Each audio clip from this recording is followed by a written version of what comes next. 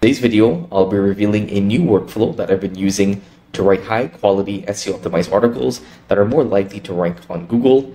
And it first starts by using Neuron Writer. Neuron Writer is a content optimization tool. Essentially, it'll give you recommendations that you need to follow to rank content on the first page of Google. And they currently have a lifetime deal. So you pay one time and you get access to it forever. I definitely recommend that you guys try um, this out for yourselves. You can get a free trial, and then if you like it, you can buy the lifetime deal.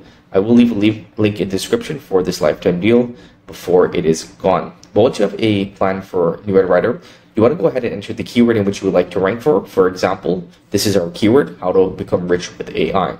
So once we know the keyword in which we're using, we're then going to go ahead and we're going to copy over all of this information that's related to the the terms, the headers, the H1s, the article, uh, keywords, and entities. So we copied over all of that content and we pasted into the new O1 model from ChatGPT.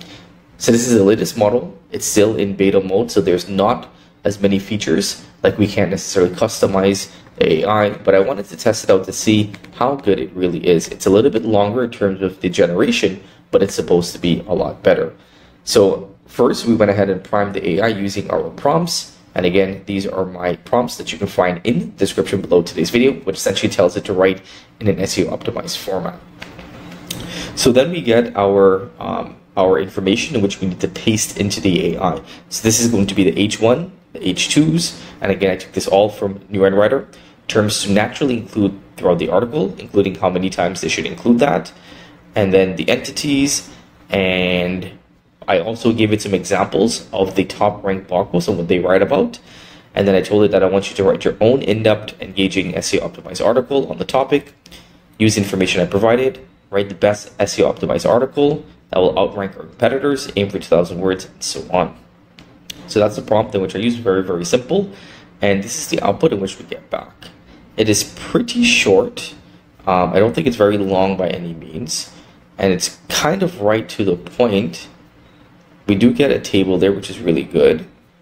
Um, I don't know if we were able to hit that 2,000 word mark, but I would definitely like to have some more information here. Like for me, it just seems really, really to the point and concise when I think in some instances you would actually want some more content.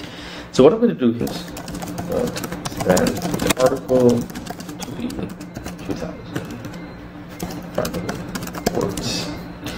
So I'm going to tell us just expand that article so we can get some more content, previous content. But as you can see here, we're actually getting some more expanded content here from the tool. It's writing um, a lot more content here, and I think it's because now it has a lot more information. The idea that we're going with here is that we're going to feed as much information as we can into the AI because when you feed it information, that's when you really get the power of the AI. If we just essentially told it to write this full content, uh, we wouldn't necessarily be able to get um, the best output if we told it to just write an article about how to get rich in 2024 using AI. But once we give it some instructions and we gave it data, then it's able to give us essentially the best possible output. So I'm going to copy this over here and then we're going to paste it into Markdown and we're going to see what the content looks like. And we're also going to test this on Neuron Writer to see the content optimization score. So again, let's copy this over, Markdown to HTML. And we're going to paste that in there. Okay. In terms of word count, 2,000 words, not bad by any means. Let's head back over to Neuron Writer. I'm to paste the content. We're at 50, that's not bad. Let's go ahead and generate a title. And to generate a description. Save and close. We're at a 66. Um, that's not bad. Of course, I would like it to be a little bit better than that. Um, but just right off the bat, and this is no manual optimizations. Let's see how it did with including those headers. It did include some of the headers. but let's actually go ahead and see if we can yes, ways to make money. If we can actually include those keywords. And that should give us a better score. So sometimes you do have to um, sort of manually add some more content in there.